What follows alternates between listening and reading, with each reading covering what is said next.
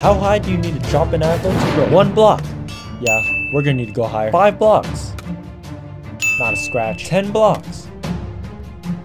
Nothing. Twenty blocks. Barely any damage. Moving on to 300 blocks. Push the subscribe button up, y'all. Push the anvil.